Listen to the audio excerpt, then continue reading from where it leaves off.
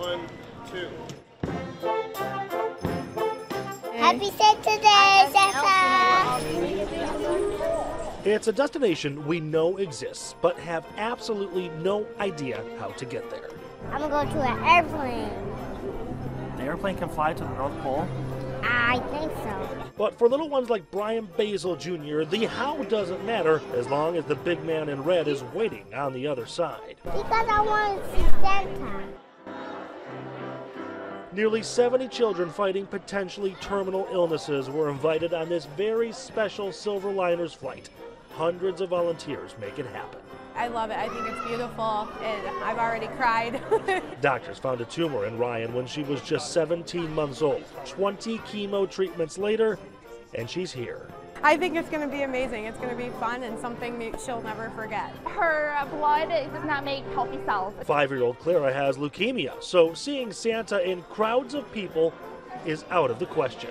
She has no immune system, so we can't go out and hang out with our friends and all those things because there's lots of germs everywhere. Out of the question except for today.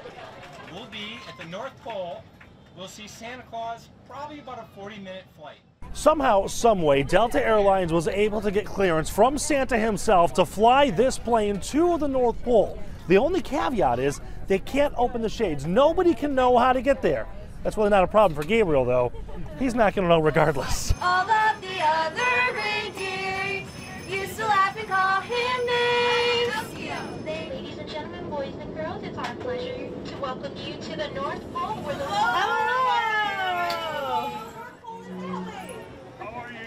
most of them, you know, who wouldn't have opportunity to do something like this. It's a lifetime experience. They're gonna remember this forever. So Christmas is huge.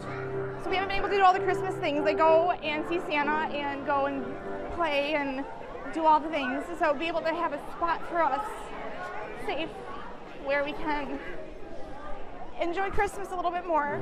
It's huge. At the North Pole. Turn right around. Nick Monticelli, Merry Christmas. Local 4.